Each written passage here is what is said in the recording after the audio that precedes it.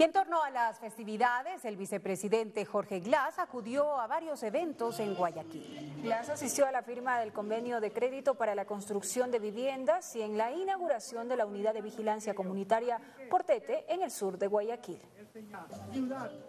Fomentar los planes habitacionales para los guayaquileños es uno de los retos fundamentales que el gobierno nacional ha emprendido. Y por las fiestas de fundación de Guayaquil, el vicepresidente de la República, Jorge Glass, participó de la firma de un crédito para la construcción de una nueva etapa en una urbanización en el norte de la Perla del Pacífico. Recibe la fiesta de Guayaquil con casita propia.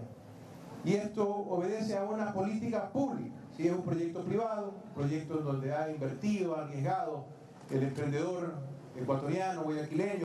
El crédito lo otorgó la Corporación Financiera Nacional y beneficiará a 339 familias. La CFN otorga un crédito de 7 millones de dólares para la edificación de otras 30, 339 viviendas y Ciudad Santiago va por más.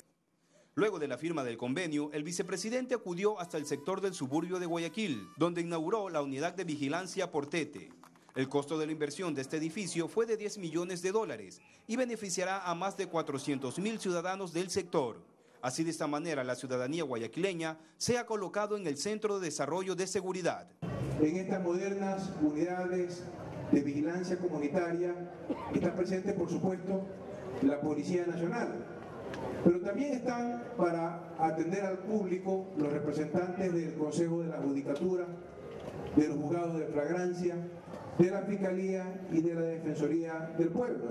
El vicepresidente Glass concluyó el día con la tradicional sesión solemne por las fiestas de fundación de Guayaquil. Marcelo Gutiérrez, Gama Noticias.